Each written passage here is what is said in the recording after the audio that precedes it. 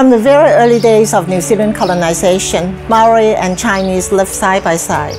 In fact, both were on the fringe of society, suffering from economic and social deprivation, and the Chinese suffer from uh, legislative discrimination as well. So they bred a kind of affinity in adversity.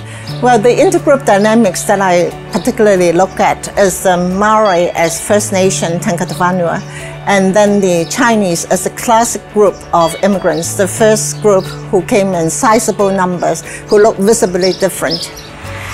The public would be very much intrigued by the relationship between Maori and Chinese. And in fact, even members of the communities themselves would be intrigued because many did not know that there was such close relationship and intermarriage between the two groups. We interviewed more than a hundred persons of, who are of who are either Maori or Chinese or Chinese Maori or Pakeha who, who have very close interactions with them.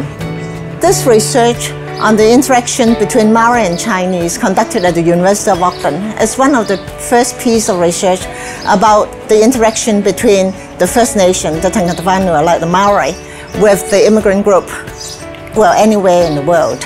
So I think that this, that is why after the publication of the books, it has aroused much international interest. They will inform the way forward for New Zealand biculturalism.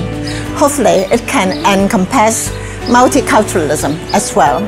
Many people feel that the two isms are in conflict, but in my view it isn't. Now, because the way forward is for like the, the Maori and the Chinese could work together from very early times and then un until now, then would could be further understanding. Now, and this is important for New Zealand's national identity that it includes Pakeha, Maori, and the new Asians who are increasingly a very important minority and visible minority in New Zealand.